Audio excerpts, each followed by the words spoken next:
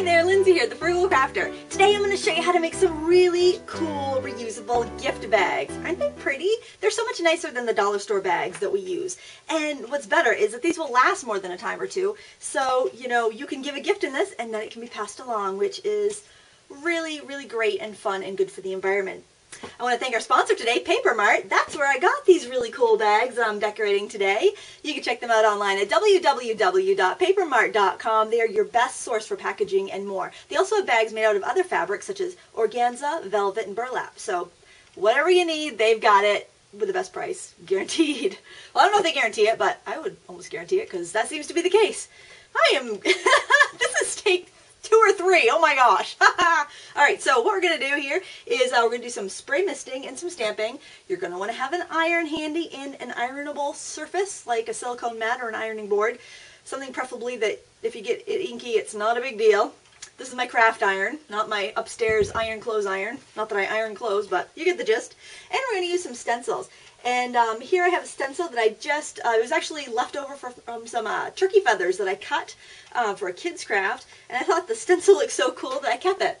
So what I'm going to do is just spray this, and I'm going to use a couple different colors. I'm going to try to keep my thumb on the paper so it's not going to be in the way of the sprayer.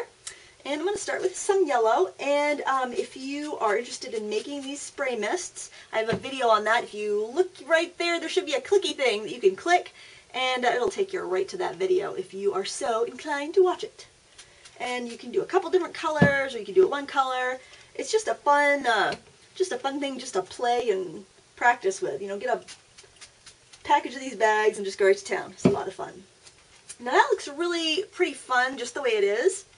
Um, now to dry this quickly and also heat set it so we can stamp on top of it, we're simply going to hit it with the old iron. So I've just set this down on my Silpat mat, which you can't see because that's right there. Um, and I'm going to put a piece of just plain uh, scrap paper on there.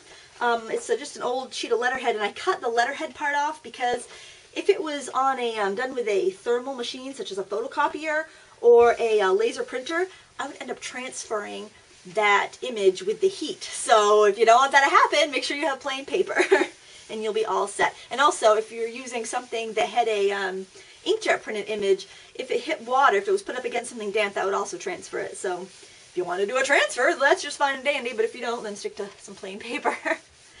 Alright, so that is ironed, so it's been one heat set, so the colors aren't going to run on you, and two, it's been dried off, so we can do some stamping. Here's some of the bags that I finished a few minutes ago. I don't know if I showed you those. It's been so many takes I can't keep it straight. But there, you, you know, we're going to make some of those. Very, very fun. Very easy, very quick. And uh, I'm just going to stamp a butterfly. And here I have a clear stamp by, uh, I think this one's Oriental Trading. Um, I like the clear stamps for this because they have more squish. And so they, they uh, will stamp on the fabric much better. I got hair on my face. That's what that, that move was. Not, I'm not doing something, not having an episode or anything. oh, Lindsay is silly today. Alright, and I like these curved stamp mounts because they also work really well if you're trying to stamp on something that's not the absolute smoothest of paper. Ah, lovely. Isn't that pretty? Now that's all it really needs, but you can go ahead and add more embellishing to it if you like. Now something else you might want to try is actually using a detailed stencil such as this birdcage one from the Crafters Workshop um, and using that as your image. But first you probably want to color up your bag a little bit. So again, you just want to take a plain bag and clip it to your piece of cardboard, which, ah, here it is. I haven't lost it. I thought, oh no, I probably lost it. Um, so just clip it on with a couple of clothespins, or you can hold it with your uh, with your thumb, but it's really hard to give an all-over spray without getting your thumbprints in there. My grubby paws, I'm to keep my grubby paws off of that because they are grubby by now. I've got like green and black fingernails. Gross. And I'm just to give it a little color. Little yellow color. And, oh, so if you want a smoother, uh, smoother spray, you want to start back further.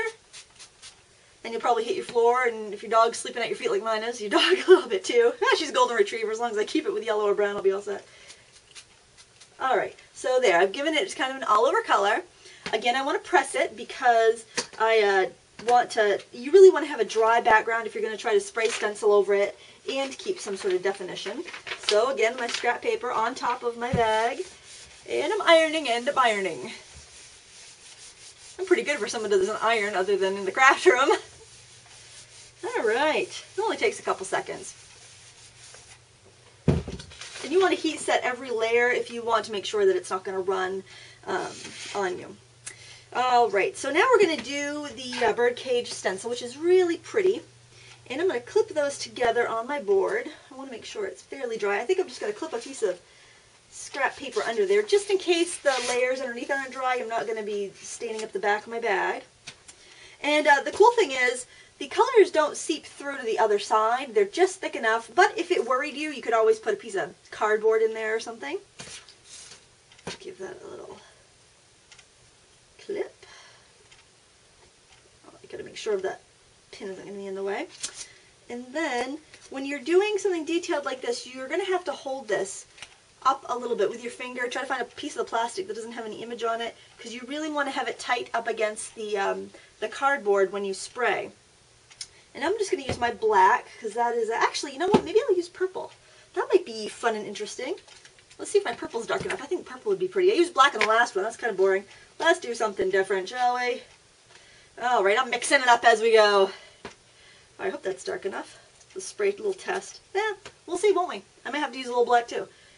So I'm just going to give it a nice all over color. I think I do want that a little bit darker, so I'm going to go in with a little black. Uh, right here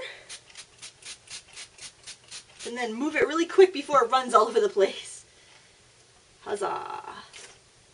And there, you can see that. So now all I have to do is heat set that and we're good.